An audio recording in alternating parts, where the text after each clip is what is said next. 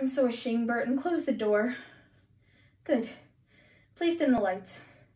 Don't think I'm a bad person, but I hate them all. You have to help me hide the evidence. My mother's going to be home from bingo, and we need to hide the wrappers. I hate them all, Burton. I am a terrible person. I hate the Thin Mints, the Tagalongs, the Trefoils, the Do-si-dos, and even the Caramel Delights, and I don't even like the Caramel Delights. No one does. I'm never gonna get that Cookie Connection badge now.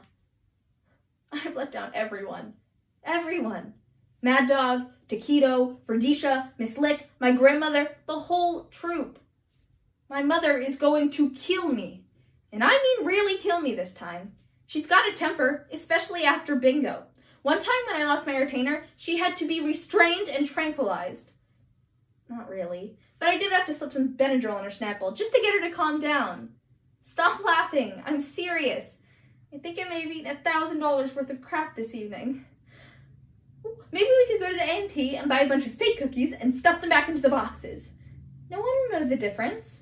We'll sell them to your your Aunt Dottie. She's blind and she always liked me. It's such a ripoff anyway. I mean, 15 cookies in a box for four bucks. That's obscene.